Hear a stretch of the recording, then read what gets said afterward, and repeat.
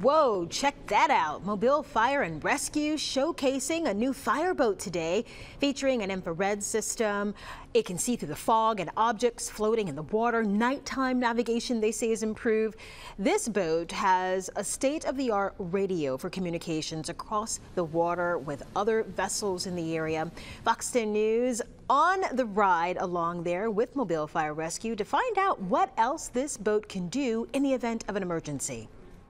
Yeah, so if you have a fire that's close to the water, um, depending on hydrant availability, this vessel could pull in close to a seawall and actually pump uh, three pumpers at full rated capacity. A land pumper is about 1,500 gallons per minute.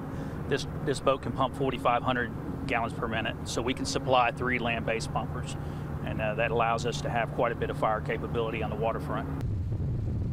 According to Mobile Fire Rescue, the boat is just shy of 43 feet in length, runs about 40 miles an hour, and pumps, yeah, as you heard, 4,500 gallons of water per minute. The boat's going to be stationed at Brookley sector of Mobile.